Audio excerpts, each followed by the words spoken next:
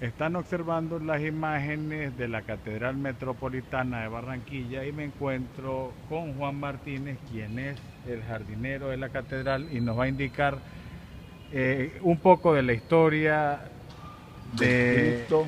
del Cristo y el- liberador latinoamericano. Ajá. cuéntanos. Es el mensaje que tiene el Cristo es cuando el Cristo vino por primera vez a la tierra a liberarnos a nosotros del pecado.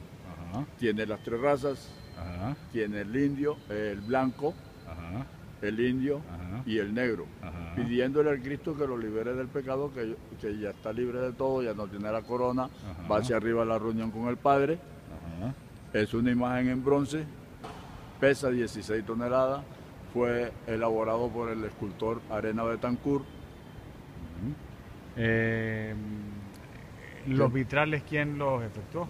Eso, ese- esos fueron donados por unos caleños que se llama Beatriz de Ayala.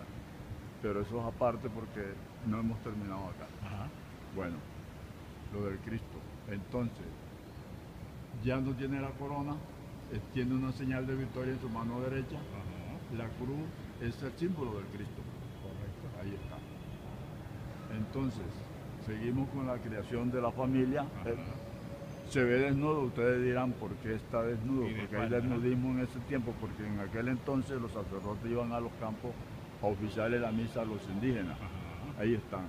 La familia, los sacerdotes, alguien mostrando algo Ajá. que está dando una, por ejemplo, una creencia.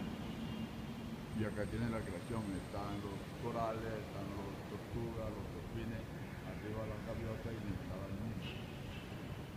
Eso es la el frente de la catedral, lo que es lo del Cristo, la creación. Bueno, Perfecto. ahora...